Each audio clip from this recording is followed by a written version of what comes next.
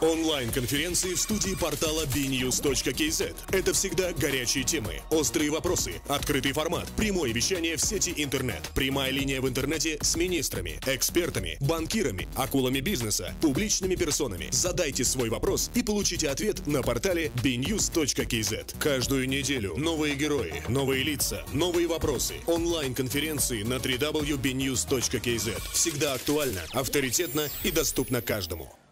Это Бинюс Онлайн. Меня зовут Даля Насипова. И сегодня мы поговорим о качестве продукции и менеджменте, внедряемых на казахстанских предприятиях.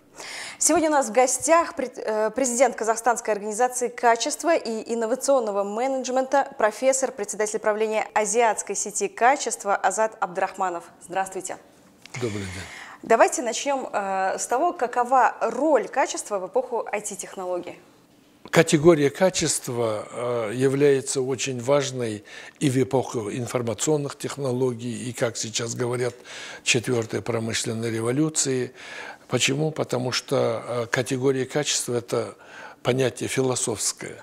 Угу. Это э, качество нельзя свести только к каким-то техническим параметрам, каким-то конкретным цифрам, потому что, например, потребитель оценивает качество по многочисленным критериям.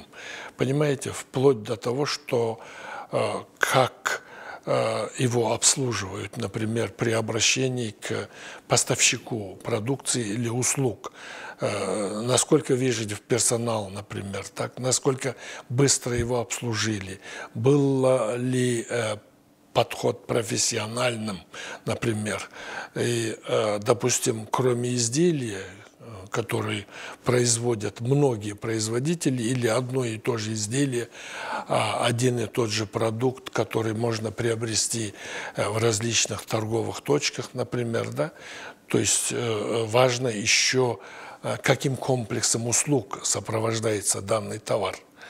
То есть тут очень много составляющих, и отсюда у потребителя складывается такое общее мнение о качестве. Ну, естественно, мы говорим о таких важных показателях, как цена. Э, цена э, или стоимость э, товара или услуги и ее как бы доступность угу. этой услуги. Ну вот во всех практических сферах сегодня существуют стандарты, да? Из чего они складываются, вот когда э, прописываются вот эти стандарты, можете вот пояснить, как вот э, составляются они? Да, ну вот э, можно сейчас сказать таким образом, есть определенное отличие подходов вот, э, в условиях рыночной экономики или э, плановой экономики, которая в нашей стране была до uh приобретения независимости. Значит, раньше государство регулировало все показатели. И э, в данном случае все э, технические характеристики э, продукции были заложены в стандартах.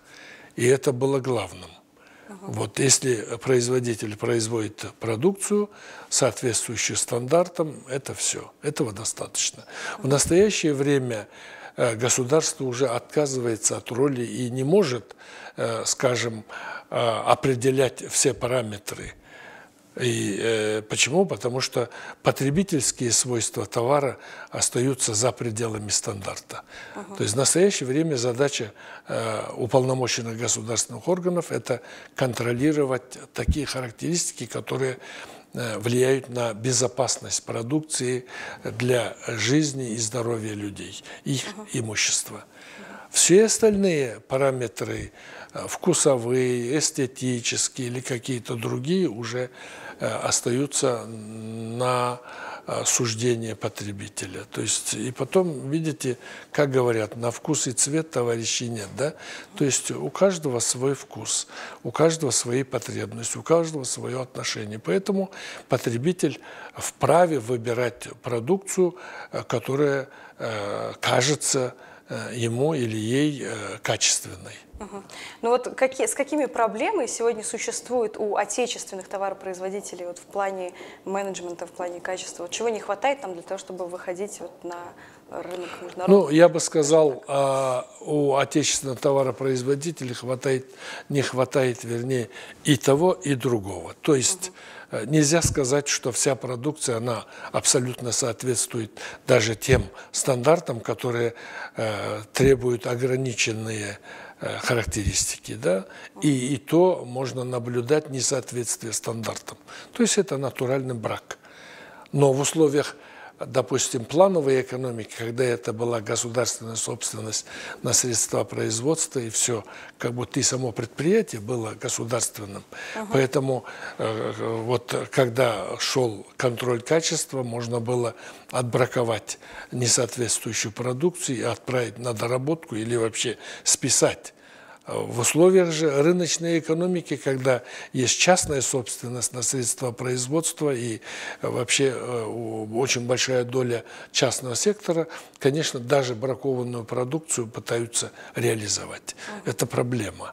Поэтому, конечно, для отечественных товаропроизводителей очень важно э, освоить современные технологии производства, э, а, а, получить или вернее – Э, наладить производство с высокой точностью э, для, с целью соблюдения именно технических характеристик согласно стандартам, отечественным стандартам или международным стандартам.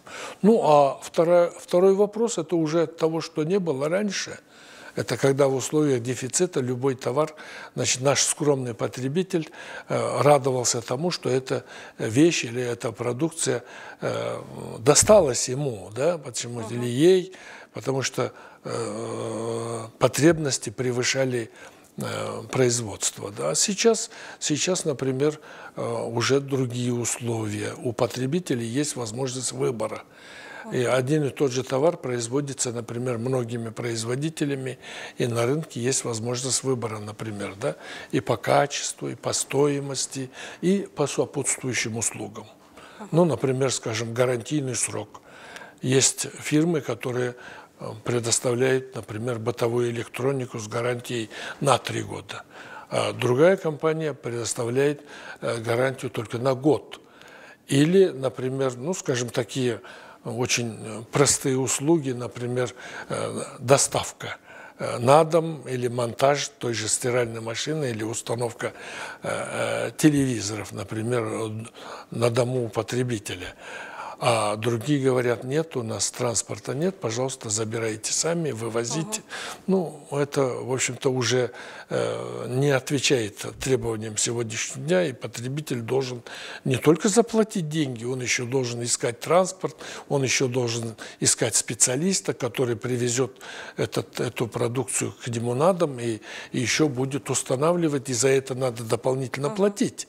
Что нужно сделать да, для того, чтобы поднять уровень э, и качество услуг оказываемых и качество продукции? Вот что, что нужно делать?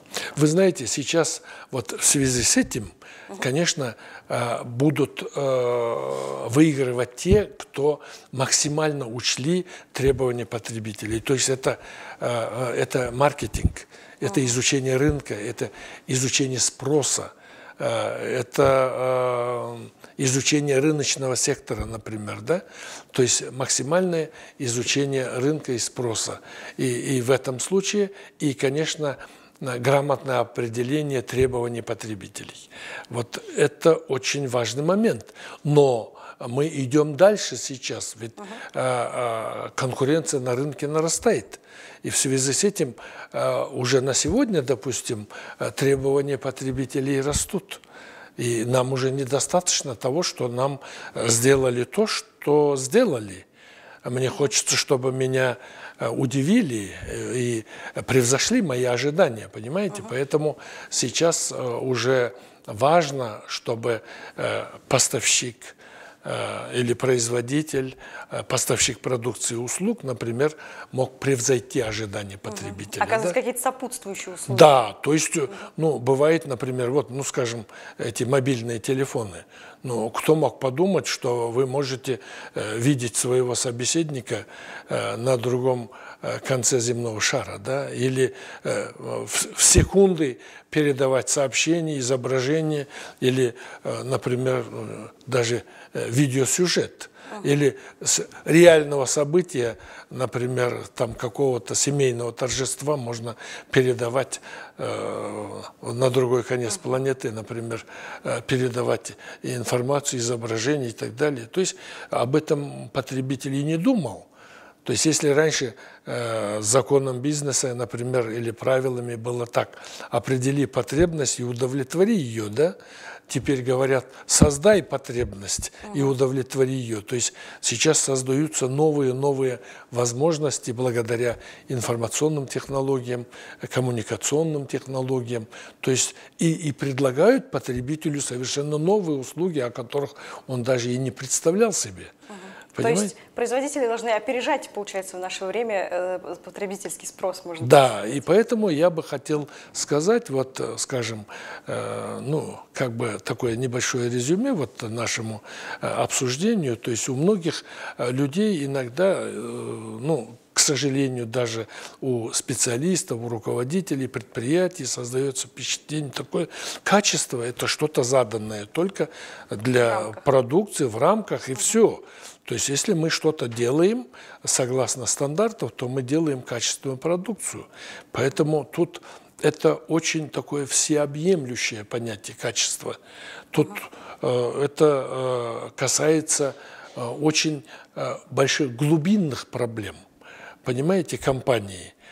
А, например, если э, компания э, хочет позиционироваться в качестве лидера на рынке, то тут абсолютно все важно. Даже, скажем, э, вот фронт-деск или ресепшн, например, да, вот крупной компании, если возможность дозвониться к ним, например, или вы дозваниваетесь, и в течение там полминуты идет реклама какая-то на разных языках.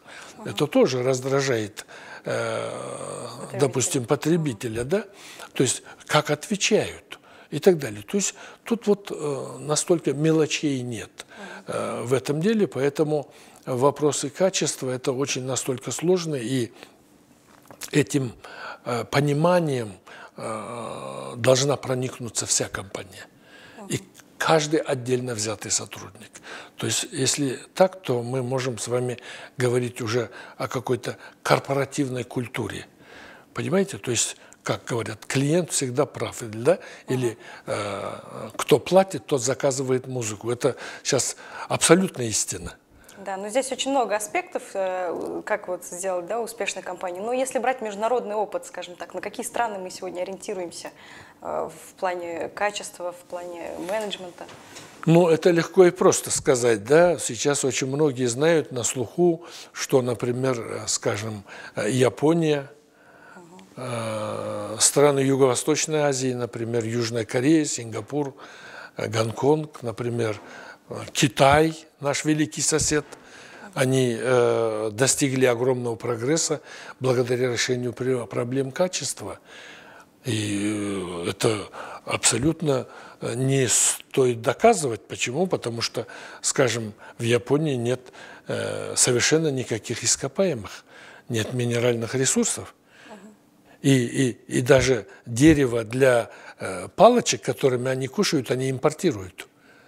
Понимаете? Поэтому а, а после Второй мировой войны вот а, японцы стали перед дилеммой, как быть, как жить дальше, да, или бедствовать, скажем, на фоне той разрухи, которая досталась после Второй мировой войны, или а, достичь прогресса. Ну, мы уже знаем об этом, например, скажем, а, каких они э, достигли высот в автомобилестроении, э, электронике, э, телекоммуникациях, там, роботизации и так далее. Вот вам конкретный пример, когда качество, ну, я просто не знаю, почему до сих пор многие наши руководители, например, вот это видя, читая, слыша, например, не уделяют должного внимания.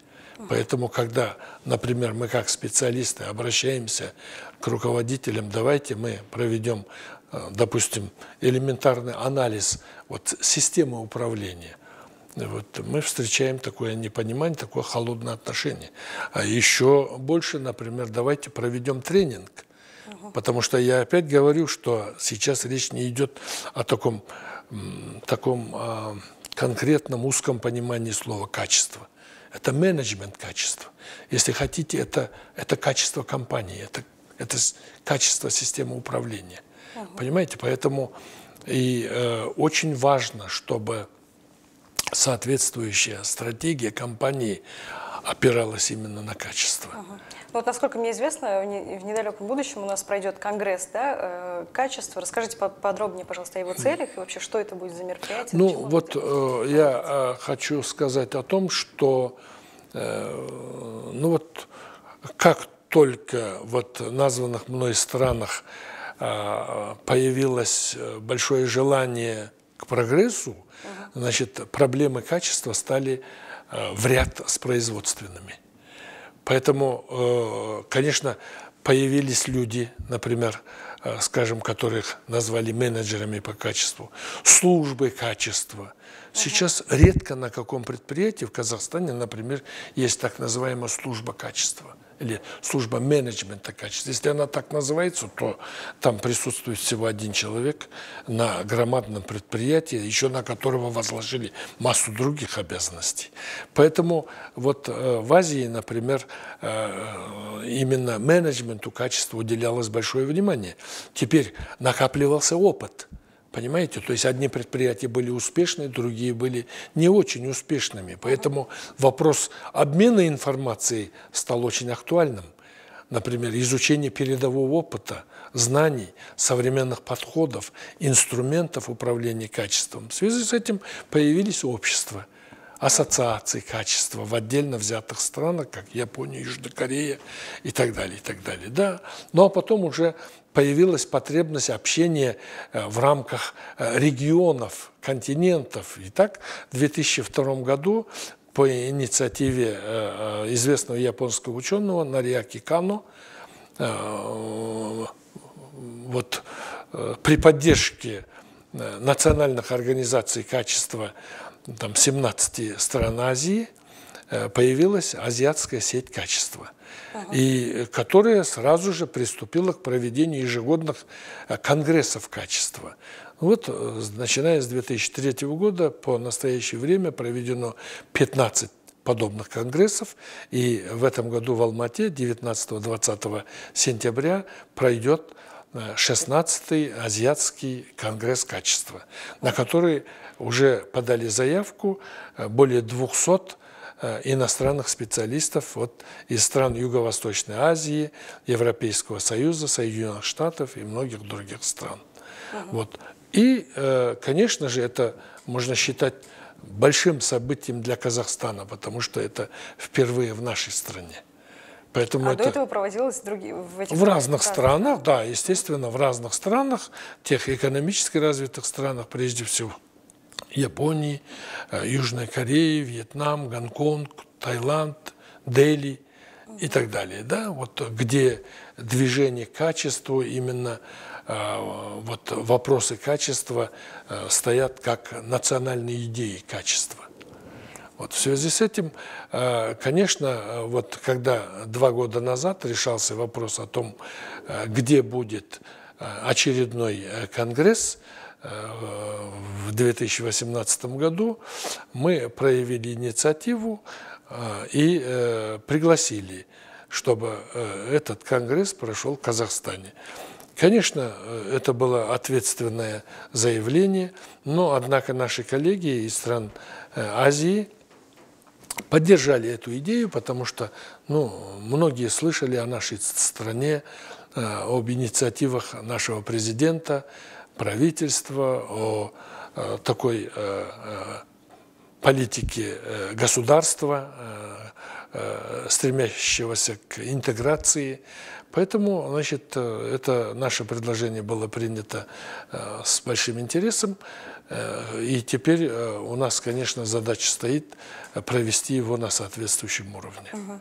Ну, наверняка уже известна программа, да, что получит участники? Да, вот, программа этих, известна, и я бы хотел воспользоваться возможностью, конечно, поблагодарить Национальную палату предпринимателей «Атамикен», Э, региональные палаты и головной офис за активную, действенную помощь в организации данного конгресса. И также, конечно, большую помощь нам оказывает комитет технического регулирования и метрологии.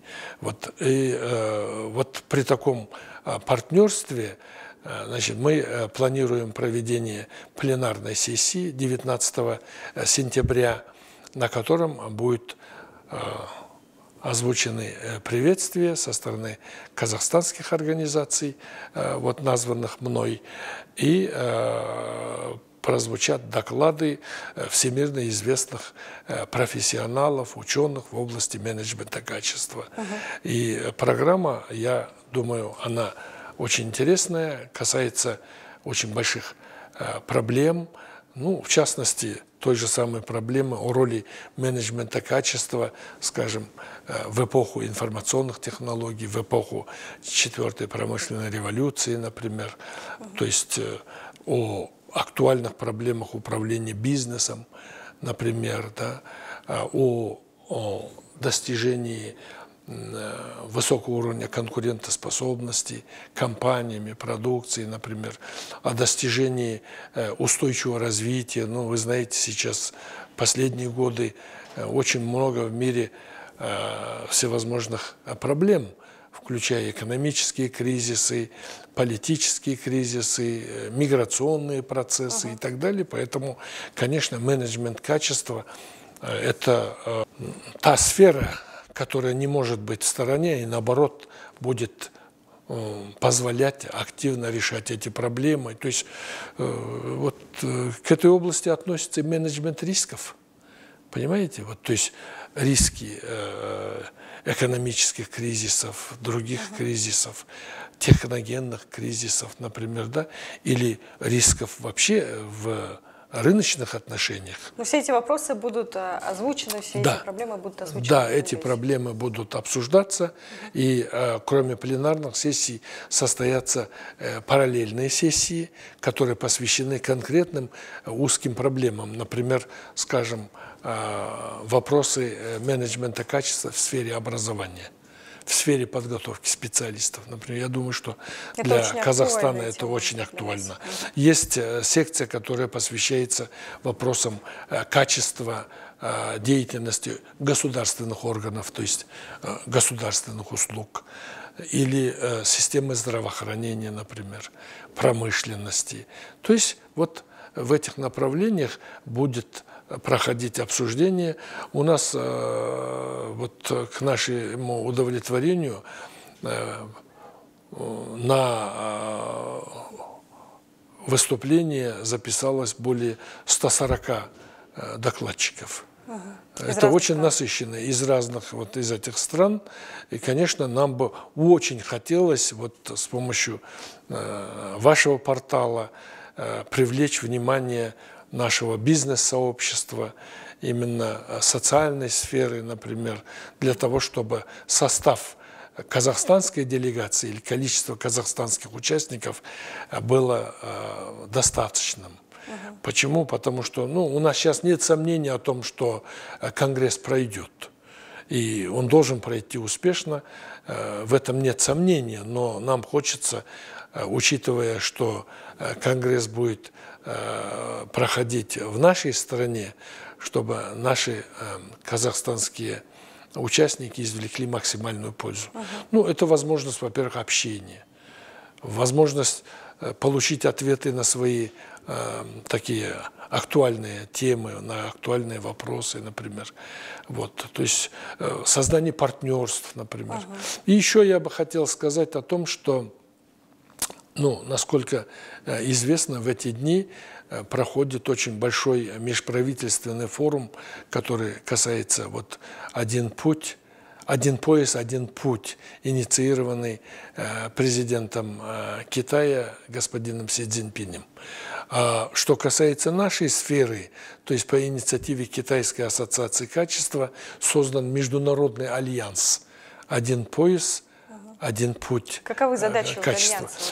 Альянса? Этот альянс э, именно э, э, уделяет большое внимание распространению идей качества, то есть распространению современных знаний о современных Э, методах менеджмента качества, инструментах менеджмента качества, э, пропаганда лучшей практики, лучшего опыта в странах-участницах. Сейчас вот в этот Международный альянс качества вошла наша организация, Казахстанская организация качества и инновационного менеджмента, Китайская ассоциация качества – и э, российская э, организация качества, э, институт стандартов и Сингапурский институт качества. Вот пока пять стран, но насколько я понимаю, что по мнению инициаторов этот альянс должен расти.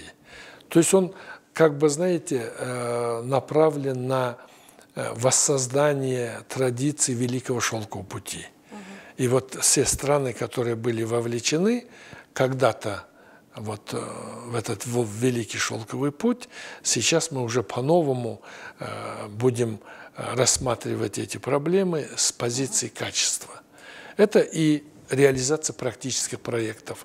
Вот в частности, мне хотелось бы отметить то, что вот с нашей стороны при э, создании этого альянса или при э, разработке основополагающих документов была предложена э, реализация проекта по прослеживаемости продукции, которая производится в странах-участницах. То есть я поясню, что я имею в виду. Например, вот казахстанская продукция идет в Китай. Китайская продукция идет в Казахстан. Так вот, мы сейчас не можем быть уверены в том, что качественная продукция, произведенная в Казахстане, доходит с таким же качеством до китайского потребителя. То есть в пути может что-то случиться? Да, естественно. Ну, даже вот, э, скажем, агра, аграрная продукция, например, произведенная в поле, э, сертифицированное качество, все соответствует, при дальнейшей транспортировке может потерять качество. Угу. При дальнейшем хранении может потерять качество. То есть это должна быть цепочка. И это должна быть система. И вот э, в этом плане вот наша организация внесла Э, предложение Комитета технического регулирования метрологии о том, чтобы создать э, именно э, систему сертификации цепи поставок. Ну, каким То есть по прослеживаемости. Ну, это, это, это должны быть, во-первых, обученные аудиторы. Вот, обученные аудиторы, которые а, именно специализируются на сертификации системы прослеживаемости. И я могу сказать, что ваш покорный слуга является единственным сейчас в Казахстане международным аудитором по прослеживаемости. То есть э, мы э, прошли соответствующее обучение, наша организация э, признана международными организациями, соответствующими как орган по сертификации прослеживаемости. Но для этого нам надо пройти путь признания соответствующих образов, согласно законодательству Республики Казахстан, что наши э, возможности технические, наши компетенции будут действительны в Казахстане. То есть надо создать систему сертификации, то есть надо аккредитовать орган по сертификации прослеживаемости, ну и, соответственно, э, постепенно э, начинать эту работу с целью сертификации всех участников цепи поставок. Ну и, конечно, в данном случае очень важно, вот, э, скажем, создание соответствующих э, договоренностей э, с соответствующими китайскими организациями, например. Да? Угу. Ну, чтобы... сейчас это на каком уровне находится? Я имею в виду Сейчас мы на уровне понимания. Угу. Сейчас на уровне продумывания этих моментов, потому что система прослеживаемости существует в Китае внутри страны. Вот как теперь наши э, соответствующие э, уполномоченные государственные органы поддержат эту идею? Почему? Потому что, э, понимаете, сейчас уже есть аналогичные примеры в рамках Евразийского экономического союза. Вот, в частности, в прошлом году был реализован проект по прослеживаемости меховых изделий. Ну, тут уже как бы сторона, знаете, это во-первых, фискальные органы интересуются. Угу. Вот, э, это э, борьба с контрафактной продукцией и так далее. То есть в рамках Евразийского экономического союза речь идет именно о прослеживаемости какой-то конкретной продукции. Например, сейчас обсуждается вопрос о создании системы прослеживаемости для фармацевтической продукции. Угу. Вы знаете, это, это особенно важно. У нас очень большая доля импортных лекарств как они к нам доставляются. Это действительно э, лекарство, произведенное в Соединенных Штатах или в Европейском Союзе, или это где-то фальсификация в соседних странах, понимаете? То есть вот эта система прослеживаемости, она позволит определить именно уникальную продукцию и отследить ее от производителя до конечного потребителя. Это очень важный вопрос, но, э, конечно, для полной реализации этого проекта предстоит, например, большая работа, нормотворческая работа, э, законотворческая работа, то есть необходимо внести соответствующие изменения в законодательство законодательные акты. Поэтому тут участие э, нашего, наших законодателей – правительственных организаций очень важно, без этого не получится. Поэтому это очень большая работа. Теперь вот в рамках этого Международного альянса качества мы затронули опять вопрос об оценке профессиональной компетентности специалистов. Вот этот вопрос, да, нехватка специалистов, да, получается? Нехватка специалистов раз, но потом, смотрите, вот у нас есть очень большой Э, пул молодых специалистов или других специалистов. У нас по-настоящему не существует системы сертификации э, э, профессиональной компетентности. Это, эта работа только набирает темпы, например. Не во всех сферах есть. Ну, скажем, квалификация врача насколько он, он, у него есть курсы повышения, у него есть дипломы, у него есть какие-то грамоты и даже так называемые сертификаты, но это не, не настоящий сертификат. То есть существует международный стандарт, и, и Международной организации по стандартизации ISO 17024, который регламентирует требования к органам по сертификации персонала. То есть это, это качество специалиста. Видите, мы с вами говорили о качестве продукции, мы с вами говорили о качестве услуг, потом я затронул вопрос о качестве цепи поставок, угу. которая обязательно сопровождает, а, скажем, продукцию, качество продукции не может быть без обеспечения соответствующих э, э, моментов, скажем, инфраструктуры э, в цепи поставок. Да? Вот теперь скажите качество специалиста. То есть мы с вами знаем о том, что есть сертифицированные бухгалтеры, например, да, то есть по международным стандартам есть а, аккредитованные соответствующим образом а, авторитетные организации, которые выдают эти сертификаты, и к ним есть доверие. И есть, например, сертифицированные программисты, которые подают, и это используется для карьерного роста, для поиска новых возможностей для специалистов.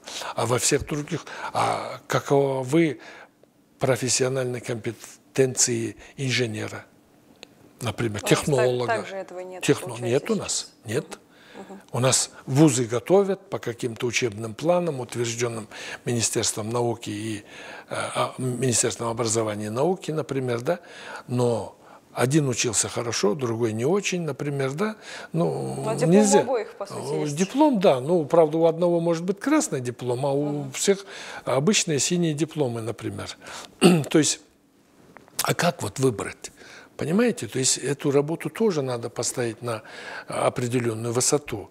Поэтому э, здесь, конечно, э, зависит от того, насколько независимо, объективно система сертификации. У нас здесь тоже есть большие проблемы. Мы же прекрасно знаем с вами, что если мы на рынке где-то покупаем продукцию, и при нем нам показывает сертификат соответствия, мы с вами э, тоже не можем на 100% довериться, что этот сертификат действительно выдан с соблюдением всех требований. То есть органы по сертификации тоже нарушают. И в этом плане опять стоит проблема для, э, скажем, того же комитета э, технического регулирования метрологии, как навести порядок, например, да, вот в системе сертификации. Вот, чтобы мы каждому сертификату э, доверяли, доверяли абсолютно, да. Поэтому, конечно, это, э, это требует времени. Мы с вами не живем в Японии или там в Германии, угу. где уже есть многовековая история и традиции, и менталитет этого народа, да, этих народов, например. Но у нас же, к сожалению, не всегда так. Мы с вами можем посмотреть вокруг, если нет инспектора дорожной полиции, мы можем и на красный свет проехать. Понимаете? Хотя в этих странах, например, никому не придет в голову выехать на встречную полосу и обойти, допустим, там пробку, если куда-то торопишься. Да? К сожалению, у нас это есть в разных сферах. Поэтому надо э, продумать такие механизмы, чтобы был еще и общественный контроль угу. над органами по сертификации и чтобы э, какой-то был э, контроль над организациями, которые получают сертификаты. Но есть ли какая-то определенная стратегия, да, уже продуманная, может быть, в рамках временных каких-то определенных, которые вот э, все это... Но сейчас... это вот только вот на, в, пла... в стадии планирования, скажем так? А, но я, я говорю от имени своей организации. Угу. У нас общественное объединение, то есть мы не государственная, не коммерческая организация, объединяющая специалистов в области качества там, организации. И наша роль, конечно, поднимать такие проблемы, о которых я сегодня говорю. Понимаете? Ну, кто-то их должен поднимать. Это угу. те люди, специалисты, которые в этих областях работают. А уже задача государственных органов, например, э, прислушаться к этому, то есть не закрывать глаза на эти проблемы, да? Каким угу. образом? Почему? Потому что это все связано с экономикой, с нашим экономическим развитием, э, с Э, я бы еще сказал, знаете, с качеством жизни нашего населения. Угу. То есть вот видите как? То есть, Прямая связь от качества. В конечном счете, в конечном счете, говорим ли мы о качестве обучения в университетах, мы говорим ли о качестве медицинских услуг, мы говорим о качестве там сферы, туристических, юридических и так далее. Все в конечном счете приходит к качеству жизни населения. Поэтому тут мелочей нет. И мы должны думать о том, что где государство берет на контроль, а где это переходит к общественности, то есть гласности, к э, прозрачности, например, да? То есть, ну, конечно, в этом направлении делается, но э, еще недостаточно.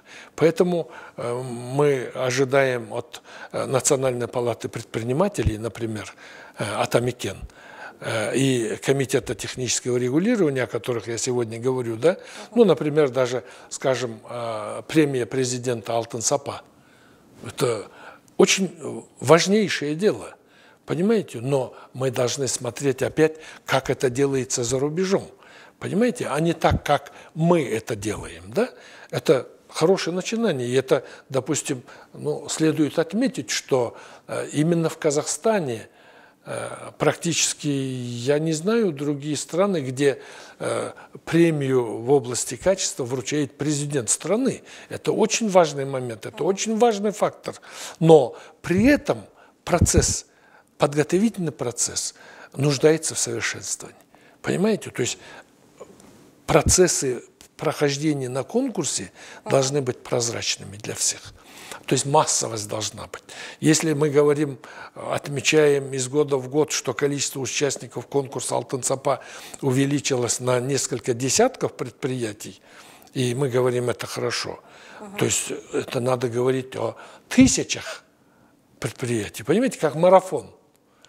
Э, в ходе которого, допустим, какое-то малое предприятие, там, фирма, они, конечно, могут даже и, и не думать, э, вот впервые участвуя в конкурсе Алтынсапа и лучший товар Казахстана, что они станут победителями. Сразу, да. Но это школа. Понимаете? И эту школу надо обеспечить, поэтому мы вносим предложение э, в палату Атамикен о том, чтобы обеспечить пул экспертов, обучить экспертную комиссию, да, то есть э, каждый участник должен получать обратную связь. Каковы его сильные стороны? Каковы области для улучшения и так далее. Да? Там не должно быть победителей и побежденных. То есть каждый, вот так же, как каждый что-то для себя в марафоне участвуете, например, да, или вел, велогонке, например, да, то есть это не официальный чемпионат, а, скажем, массовые мероприятия. Вот также должны быть эти конкурсы организованы. Вот в таком плане, что проба сил. Понимаете, каждая фирма попробовать свои силы. То есть и, и тут должен быть пул квалифицированных внешних экспертов, асессоров, которые, вот, скажем, под эгидой Э, той же э, Палаты предпринимателей Атамикен э, даст объективную внешнюю оценку, и это будет. Ну, сейчас это делается, но это надо больше, шире, и охватить надо больше компаний, например. И еще один вопрос, который я хотел бы затронуть, очень важный, понимаете, ну, затрагивается и государственными органами, правительством, о том, чтобы увеличить экспортный потенциал Казахстана. Каким образом? Ну, чтобы наши компании увереннее выходили на международные рынки. К сожалению, ведь таких мало очень. Угу. Понимаете? Сейчас, да, очень да, почему? малое количество. Да, очень мало. Продукции. Или объемов мало, да, продукции, э, что они удовлетворяют только внутренний рынок например. Или э, боязнь, э, скажем, требований международного рынка, то есть это, э, скажем, боязнь, что окажутся неконкурентоспособными. Поэтому э, надо делать так, чтобы конкурентоспособность нашей продукции была выше – выше. А для этого есть возможности опять внедрять эти методы управления, новые методы управления, да, чтобы повысить. И тогда, допустим, наши когда компании, и это прежде всего должны делать победители конкурса Алтенсапа. Это лучший пример. То есть мы не можем с вами э, на каждое предприятие поставить контролера и проверять качество. Да? Это невозможно. А вот пропаганда лучшего опыта – как раньше говорили, э, школа передового опыта, да? Вот, то есть лучшие предприятия должны открывать двери. Вот победитель Алтансаба у нас это не практикуется сейчас. Вот победитель получил награду, значит, будь добр, демонстрируй, открой двери. Вот, например, в той же Японии, например, э, компания Toyota, например, э, ежеквартально открывает, проводит дни открытых дверей. Тот же самый BMW, например, в Германии открывает двери, пожалуйста, и Bosch компания. Пожалуйста, любой может записаться заблаговременно, формируются группы, и, пожалуйста, открыто. Ну, конечно, они могут свои ноу-хау не сказать, но основные принципы, подходы к управлению качеством – это реклама. Чем больше людей посетят, чем больше специалистов придут, тем больше доверия к продукции этой компании. Понимаете? Поэтому вот сейчас остро стоит вопрос о признании казахстанской продукции за рубежом. Вот эти... Э, как, каково, каково сейчас уровень доверия казахстанской продукции вы вот со своей Ну, я думаю, что это не системный. Угу. Может быть, кто-то столкнулся, кто-то видел, говорит хорошо. Но это не массово, потому что для этого надо участвовать э, в официальных международных конкурсах. Например, есть Европейский фонд менеджмента качества, который имеет такой модель многоступенчатый э, уровень совершенства, достижения совершенства. Uh-huh. Ну, в частности, я хочу сказать, что э, модель э, премии президента Алтансапа как раз строится на этой европейской модели делового совершенства. И наши многие, например, предприниматели, участвуя в конкурсе Алтансапа, не понимают, что это та же самая схема. И совершенствуя свои показатели, свои бизнес-процессы, вот, свою систему управления, да, эффективность своего производства, они могут прямо напрямую, например, да, э, как говорится, без подготовки выходить на европейские конкурсы. Ну хорошо, тоже, допустим, вы не завоевали там, скажем, э, грамоты там финалиста или призера или обладателя европейской награды. Ну, вы участвовали, вы видели других, вы показали себя, понимаете? Вот за это мы ратуем. И мы говорим, давайте смелей, зовем, зовем, но, к сожалению, э, тишина. Сейчас пока у нас нет таких предприятий. Есть э, несколько предприятий. Вот, в частности, я бы хотел назвать группу компаний «Казтрансгаз». Угу. Это э, компания, головная компания «Казтрансгаз», э, «Казтрансгаз Аймак», э, «Интергаз Центральная Азия», например, там еще э, э, «Казтрансгаз Юнемдери» и «Амангельдегаз». Вот группа компаний, которая внедряет из года в год. И э, вот, э, например, «Казтрансгаз Аймак», они добились вот, э, э уровня признанного признанное совершенство 5 звезд. Это по европейской модели. Интергаз Центральной Азии вот в этом году продолжает, вот э, мы в прошлом году оценили на уровне 4 э, звезд. 5 звезд, а уже дальше это участие в европейском официальном конкурсе. Угу. Есть шанс стать финалистом этого конкурса, стать призером по каким-то номинациям. Вот это и позволит, например, признать. Чем больше казахстанских компаний будут там участвовать, они будут на слуху. И у европейского или у азиатского э, потребителя, например, и у тех же самых партнеров, у тех же самых инвесторов. Uh Вот, в частности, еще один конкурс, который бы я хотел затронуть, это качественная инновация. Вот сейчас участвует 12 стран. Понимаете? То есть мы говорим об инноваторах. Есть у нас соответствующие госорганы, э, которые финансируют инновационные проекты. Мы очень много говорим об инновациях, но единицы э, этих проектов выходят за рубеж. И не знаю, тоже, наверное, я бы сказал нет, но могу ошибиться. Тоже какие-то единицы привлекают иностранных инвесторов. Почему? А потому что мы варимся в собственном соку. Угу. И мы отметили, получили эти гранты, наши инноваторы, и дальше не идут. Угу. Может быть, каким-то образом нужно стимулировать предпринимателей? Я и вот говорю, но это опять же, опять, вот скажем, для нас, например, как общественного объединения, это трудно. Есть соответствующие вот агентства по технологическому развитию, например. Это их прерогатива. И, э, ну, та же самая палата предпринимателей, наверное, Атамикен, может э, в этом плане э, содействовать или мотивировать. Вот, поэтому вот мы приглашаем, у нас есть десятки, сотни, допустим, этих инновационных проектов. Давайте пробовать силы, давайте участвовать. Там участвуют э, такие страны, как Финляндия, Швеция, э, Венгрия, там, Израиль, Китай э, и так далее. То есть э, обладатель награды этого конкурса получает диплом за подписью президента Финляндии. Это ну, очень здорово. Это, это же это здорово, это же это не где-нибудь, не кто-нибудь это.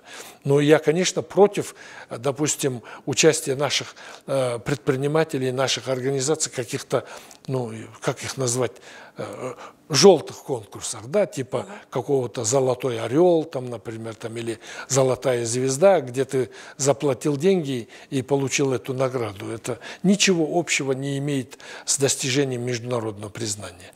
Понимаете? И э, тоже опять всевозможные эти рейтинги, вот бизнес-рейтинги и так далее, тоже надо отнестись с очень э, большой осторожностью. Почему? Потому что они, это коммерческие проекты. Заплатил деньги, ты получил высокий рейтинг. Заплатил больше, значит, больше рейтинг. Заплатил меньше, меньше рейтинг. Понимаете? То есть вот э, э, моя точка зрения это значит, участие в официальных азиатских конкурсах, например, проводимых официальными организациями, как Азиатская сеть качества, например, и получение ну, вот наград. Помимо да, конкурсов, помимо конгрессов, вот подобных мероприятий, а, азиатская сеть качества еще э, какую-то поддержку, может быть, оказывает? Помимо ну, поддержку оказывает, конечно, чем? Мы э, проводим э, возможность, например, для э, встреч, для посещения соответствующих предприятий, организаций, например, э, в любой стране, э, угу. допустим, участницы да, этого, этой организации. То есть производители например, могут прийти к вам, обратиться? К да? нам обратиться, мы формируем делегацию, едем на Тойоту или там на Nissan, или другую компанию, Камацу, например, да, допустим, японскую, или там китайскую компанию, Сингапур, например, э, технологические парки. У нашей организации есть большой опыт в этом направлении. Вот за предыдущие годы мы, например, э, помогли э, поездки более 300 руководителей крупных национальных компаний наших, э, предприятий, организаций, строительной индустрии, учебных заведений, здравоохранения, где мы демонстрировали современные клиники, например, университеты во Франции, например, Сингапуре и так далее. То есть где в Малайзии технологический парк, Гонконге техно, технопарки, например. Вот, то есть где можно действительно своими глазами увидеть это. То есть мы не, не только говорим там о теории какой-то, да, пожалуйста, практическая помощь. А этот подход называется бенчмаркинг. Вот это и есть инновация. Понимаете? То есть инновационный подход должен строиться на инновационной стратегии организации. Вот. В разрезе регионов можете отметить какой-то вот наиболее активный, скажем так, э, или, может быть, в определенных сферах наиболее активные предприниматели, которые стремятся вот перенимать, э, ездить, смотреть и внедрять? Ну, мне бы сейчас не хотелось называть какие-то отдельные предприятия, например, uh-huh. вот в этом плане очень много хороших предприятий, очень много выпускается хорошей продукции, но мне кажется, они недостаточно внимания уделяют тому, например, чтобы выделиться, понимаете? То есть не быть в массе. И, и даже конкурентоспособность на внутреннем рынке – это тоже вопрос. Почему конкуренция нарастает сейчас, скажем, вот э, Евразийский экономический союз, таможенный союз, например, очень много продукции из Российской Федерации, из Белоруссии, например, да, у нас вот э, в торговой сети. И как отличить? И призыв только покупайте казахстанское, ну, это мало убедительно, uh понимаете? Почему я должен казахстанскую продукцию, если она не если такая наступает. вкусная, если она не такая качественная, если она уступает по цене и так далее, понимаете? Поэтому одними призывами патриотизма мы ничего не сделаем. Другое дело, что потребитель должен наглядно видеть это, поэтому надо проводить больше встреч с потребителями. Вот, и в этом плане, конечно, э, мы планируем совместную работу, но просто не хватает ни времени, ни возможностей, понимаете, вот э, союзом потребителей, например, с обществами э, потребителей работать для того, чтобы вот именно э, вот эта обратная связь, как вот с чего я начал, да, ага. то есть судья – это потребитель. Поэтому успех наших предприятий в том, если они будут наглядно демонстрировать. Ну, например, скажем, у предприятий есть э, сертификат на системы менеджмента качества, да, и сертификат соответственно на продукцию. Это бумаги. Вот надо демонстрировать теперь. Надо В итоге демонстрировать. оценку дают потребитель, конечно, выбирает конечно, тот или иной товар. Конечно. Ну, спасибо большое за сегодняшнюю беседу. Я думаю, о стандартах качества и обо всех сопутствующих темах можно говорить бесконечно, но тем не менее время эфира нашего оно ограничено. Спасибо большое за то, что вы сегодня были в нашей студии, рассказали много интересных вещей. Спасибо э, большое. Я напоминаю, что сегодня у нас в гостях э, был президент Казахстанской организации качества и инновационного менеджмента, профессор, председатель правления Азиатской сети качества Азат Абдрахманов. Всего доброго.